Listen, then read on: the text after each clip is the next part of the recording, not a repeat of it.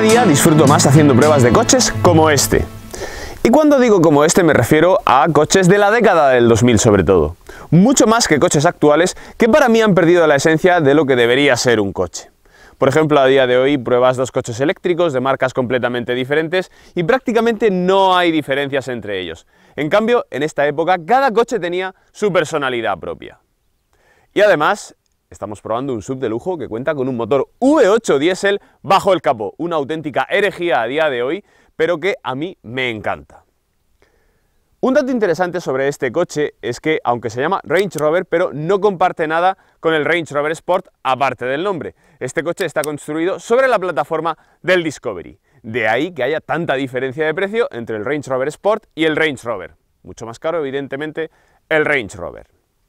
Y otro dato interesante sobre este coche es que ya está a precios muy asequibles en el mercado de segunda mano, como ahora veremos. Y por cierto, esta unidad está a la venta, también hablaremos de eso ahora. Esto es Top Drivers y hoy probamos el Range Rover Sport TD V8.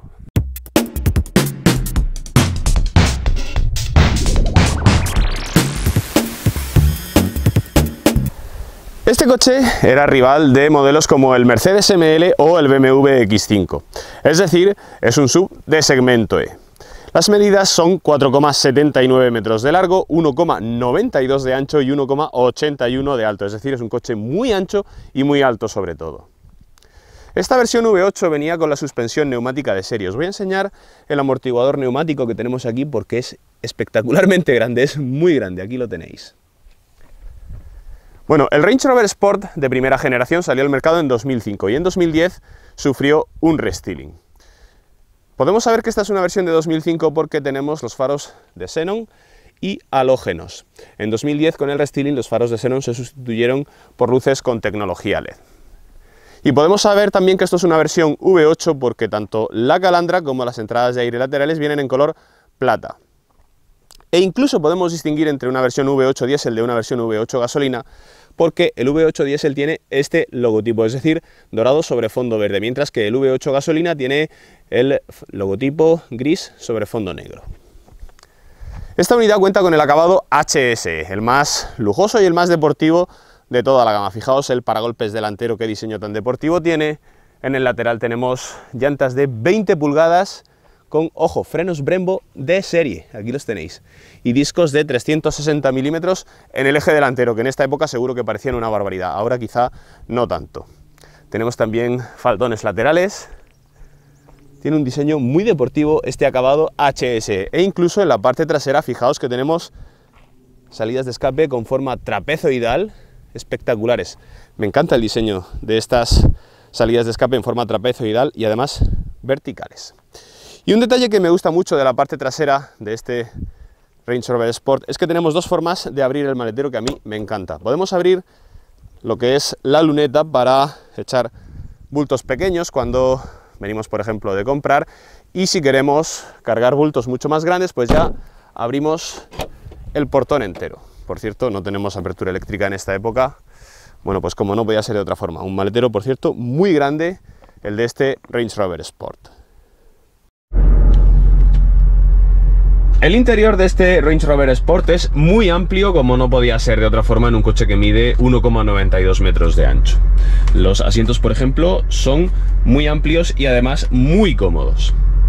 Una curiosidad que os quiero contar antes de comenzar a analizar el interior. Fijaos que la PRND de la palanca de cambios la tenemos a la derecha de la misma. ¿Esto por qué? Bueno, pues porque este coche evidentemente está diseñado y pensado para el mercado anglosajón en el que tienen el volante a la derecha. Por eso tenemos las letras aquí a la derecha para que ellos las puedan ver mejor. Pero por ejemplo nosotros que tenemos el volante a la izquierda, si engranamos la D, fijaos que la palanca de cambios nos tapa las letras y por ejemplo cuando vamos a engranar la marcha atrás a veces no vemos exactamente que estamos engranando, pero bueno, esto es un detalle menor. Calidad y ajuste de acabados. Bueno, os tengo que decir que a mí este coche de aspecto a mí me gusta mucho, ¿qué queréis que os diga? Me gusta más que un Mercedes ML o que un X5 de la época. Aunque es cierto que toda esta consola central con tantos botones, bueno, pues aquí por ejemplo es que parece una calculadora. Y claro, con el paso de tantos años, la calidad y ajuste de materiales en su época, cuando yo probé este coche por primera vez, me parecía asombrosa y a día de hoy, bueno, pues ha cambiado mi opinión. Pero esto es lógico porque es un coche que tiene ya pues cerca de 20 años, vamos a llamarlo así, por lo menos el modelo. El paño de la puerta. Bueno, Fijaos que soporta bastante bien el paso del tiempo, sobre todo lo que veo que es de más calidad en el interior es esta madera, que es de mucha calidad con el logotipo de Land Rover y que tenemos también un poco aquí en la consola central y en la otra puerta esta madera es la que mejor soporta el paso del tiempo. Pero por ejemplo el plástico del salpicadero no es tan bueno y soporta peor el paso del tiempo. Y en cuanto a calidad y ajuste de materiales, pues es buena, pero no tiene nada que ver con un coche premium de cualquier marca actual. El volante tiene un aro muy grande, tiene estos botones que a mí no me terminan de convencer porque la ergonomía no es excesivamente buena, pero en fin, tenemos el volumen, tenemos el modo para el control de crucero y el limitador de velocidad, que los tenemos aquí en la mano izquierda. Bueno, como os digo, calidad y ajuste de materiales es buena, pero por ejemplo un ML de esta época era mejor, aunque de aspecto a mí este coche me parece más bonito. Pero quizá por lo que más destaca este coche con respecto a sus rivales de la época es porque tiene muchas mejores capacidades off-road. Y esto se ve por ejemplo aquí en esta pantalla que por cierto es táctil, aunque evidentemente es pequeña y no es de muy buena resolución, pero es lo que había en la época. Lo vemos en esta pantalla y sobre todo lo vemos aquí en estos mandos del Terrain Response que llama Land Rover y que son los mandos en los que podemos seleccionar los diferentes modos de conducción off-road y aquí por ejemplo que podemos seleccionar la reductora. Para seleccionar la reductora fijaos que vamos a pulsar y no nos deja, nos dice que tenemos que engranar neutral, engranamos neutral y ahora sí nos deja seleccionar la reductora. Aquí lo tenéis. Estos son los, este es el mando del Terrain Response en el que podemos cambiar, fijaos, entre hierba, gravilla, barro, arena y arrastre en rodera. Este es el último modo de conducción. Y también podemos seleccionar la altura de la suspensión neumática. Aquí la podemos subir o bajar con estos mandos que tenemos aquí. En definitiva, como os digo, fijaos que aquí hemos seleccionado el bloqueo del diferencial. Es muy bonito este, este gráfico, a pesar de que, como os digo, es antiguo, pero es muy bonito. Fijaos que aquí tenemos el bloqueo del diferencial central y el bloqueo del diferencial trasero, que también tiene este coche bloqueo de diferencial trasero. Por eso os digo que en cuanto a capacidades off-road, este coche es muchísimo mejor que un ML o que un X5 de la época. A día de hoy, desde luego que puede parecer una herejía un motor V8 diésel, pero en esta época todas las marcas premium contaban con motores V8 diésel en su gama e incluso algunas se atrevieron con motores V10 diésel. Este Range Rover Sport también se estuvo vendiendo con un motor V6 gasolina que evidentemente es más fácil de encontrar porque se vendieron más unidades. Este motor V8. Está construido el bloque en hierro, la culata en aluminio, son 3.600 centímetros cúbicos y cuenta con inyección directa, turbo de geometría variable e intercooler, gracias a los que desarrolla 272 caballos y 640 Nm de par entre 2.000 y 2.500 revoluciones por minuto. Desde luego que no parece que este motor V8 vaya muy apretado para tan solo 272 caballos. Las prestaciones de este coche con este motor. Tenemos un 0 a 100 en 9,2 segundos, que no está nada mal para el peso del coche, y una velocidad máxima de 209 km por hora. Y ahora, como es habitual en el canal, vamos a ver una aceleración de 0 a 100 de este Range Rover Sport. Como ya habéis visto antes, este coche tiene muchos modos de conducción para conducción off-road, pero para conducción por asfalto solo tenemos uno, el modo Sport de la caja de cambios. Con un toque hacia la izquierda de la palanca de cambios, se nos activa aquí el modo Sport. Bueno, este coche tiene muy buena tracción desde parado, por esta espectacular tracción a las cuatro ruedas de serie de este Range Rover Sport, así que vamos a ver si conseguimos igualar esos 9,2 segundos que declara la marca. Pisamos freno y acelerador a fondo y a ver qué pasa.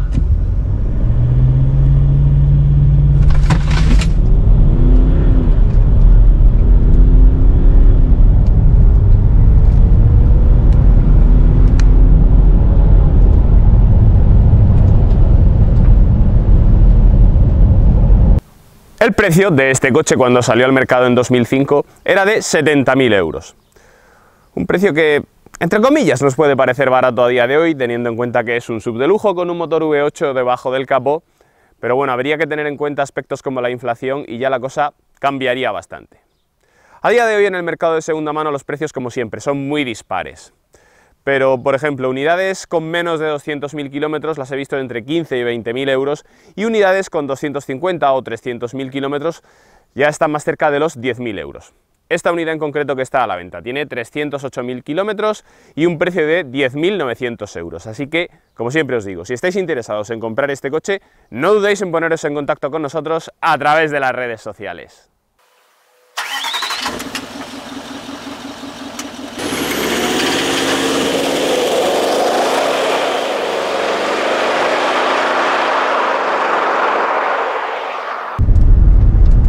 Bueno amigos, ya estamos a los mandos de este Range Rover Sport y como os vengo diciendo a lo largo de todo el vídeo, qué bien me lo estoy pasando probando este coche.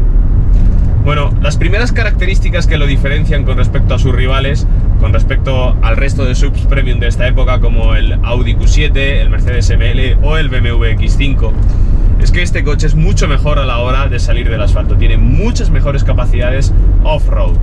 Tenemos, por ejemplo, como ya os he comentado, el Terrain Response, este programa que es capaz de adaptar el control de tracción y otros elementos del coche para que el coche tenga la mejor tracción posible cuando estamos conduciendo por nieve, por barro, por tierra.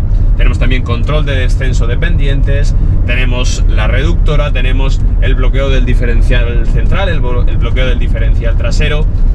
Todas estas medidas hacen que este coche sea muy bueno en conducción off-road y que sea comparable que sea más rival del Toyota Land Cruiser que de un Mercedes ML que no tenía todo ese tipo de medidas para salir fuera del asfalto con tanta solvencia como este coche. Ahora bien, por asfalto es peor que un ML, es peor que un X5, está claro. Como os digo, este coche es más comparable, me recuerda mucho más en el tacto de conducción a un Toyota Land Cruiser. Esto quiere decir que este coche tiene una suspensión que flanea mucho en carretera, incluso con estas llantas de 20 pulgadas del acabado HSE, el coche flanea mucho en carretera, cabecea mucho cuando frenamos fuerte.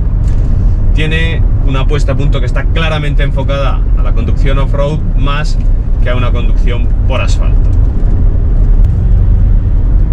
La sensación que tengo a la hora de conducir este Range Rover Sport es la de estar conduciendo un coche muy sobreelevado, muy grande. Hace poco me he cruzado con un Audi Q5 y este coche es mucho más alto que un Audi Q5. Es un coche grande y que se nota grande y pesado en carretera. Curiosamente, el V8 venía de serie con el Dynamic Response que llama Land Rover. El Dynamic Response es un sistema, en concreto es una bomba que actúa sobre las barras estabilizadoras para limitar los movimientos de balanceo de la carrocería. Bueno, pues aún así este coche, como os he dicho, balancea mucho. No me quiero imaginar este coche sin el Dynamic Response, por ejemplo, en la versión V6 que no lo traía de serie. Este motor V8 yo lo veo mucho más adecuado que el V6 para montarlo en este Range Rover Sport. ¿Por qué? Bueno, pues porque es un coche que pesa 2.670 kilos y con el V6 se puede quedar bastante corto de potencia. Con este V8, en cambio, el coche se mueve bastante bien. Tenemos un modo Sport de la caja de cambios, incluso con modo secuencial. Vamos a reducir una marcha. Y si pisamos a fondo, la caja de cambios es bastante lenta, pero bueno, si pisamos a fondo, el coche gana velocidad con bastante rapidez. Este motor V8 tiene la potencia máxima, alcanza la potencia máxima a las 4.000 revoluciones. De hecho, en modo completamente automático de la caja de cambios, a las 4.000 revoluciones cambia a una marcha superior. Ni siquiera te deja llegar a las 5 o 5.500 revoluciones que podría llegar. Esto quiere decir, y la propia marca lo sabe, que a las 4.000 revoluciones se acaba este V8 diésel y tenemos que cambiar a una marcha superior porque dejamos de tener zona dulce del motor. El consumo medio homologado para este motor es de 11,1 litros. Bueno, teniendo en cuenta, como os he dicho, los 2.600 kilos de peso y los 272 caballos, lo veo un consumo, bueno, bastante acorde, pero es que es un consumo medio homologado, el real es bastante más alto. Ahora mismo en la prueba estamos en una media de unos 14 litros a los 100 kilómetros. Sí que es cierto que estamos realizando una conducción bastante dinámica, pero como os digo, el consumo medio es muy elevado el de este V8 diésel. La caja de cambios es automática de serie, la firma del especialista ZF, es de 6 relaciones y como os he comentado antes es muy lenta, aunque se agradece bastante que tenemos el modo secuencial, con este toque a la izquierda tenemos modo secuencial en el que podemos bajar marcha y subir marcha dándole un toque hacia adelante, pero como os digo es bastante lenta, incluso poniéndola en modo secuencial la caja de cambios cambia, entre comillas, cuando le da la gana. Por eso ponerla en modo secuencial tiene más sentido, más que para una conducción deportiva, tiene sentido para reducir marchas cuando estamos bajando un puerto, porque así controlamos mejor el freno motor. Pero por lo demás, pues bueno, se nota que es una caja de cambios que ya tiene un cierto tiempo en el mercado. Este coche tiene una altura libre al suelo de 22,7 centímetros, que es mucho más de lo que tienen la inmensa mayoría de subs actuales. De ahí también sus buenas capacidades off-road. Bueno, como os decía, la suspensión neumática es de serie en este V8. Esta suspensión neumática tiene tres niveles de altura. Nivel de acceso, nivel de carretera y nivel fuera de carretera. Con el nivel fuera de carretera es donde tenemos esos 22,7 centímetros de altura libre al suelo. Y os tengo que decir que si nos dedicamos mucho a toquetear este mando en el que subimos y bajamos la altura de la carrocería, al final el sistema se termina recalentando, en concreto el compresor del aire de la suspensión neumática, y aquí en el cuadro de instrumentos nos sale un eh, mensaje en el que nos dice que tenemos que dejar enfriar el sistema para poder seguir utilizándolo. Bueno, ya sabéis que esto de la suspensión neumática es así. No os dediquéis a toquetearlo como he hecho yo durante un rato porque termina calentándose y hay que dejar enfriar el compresor. Bueno amigos, pues esto ha sido todo. ¿Tenéis algún coche interesante y queréis que lo probemos en el canal? Os podéis poner en contacto con nosotros a través de Facebook o Instagram. Y como os digo siempre, si tenéis alguna duda a la hora de comprar este o cualquier otro coche, no dudéis en poneros en contacto con nosotros a través de las redes sociales. Estaremos encantados de responder a todas vuestras dudas. Y no os olvidéis de darle a like y a seguir el canal, para apoyarnos y que podamos seguir haciendo contenido de mejor calidad. Un saludo y nos vemos en el siguiente vídeo.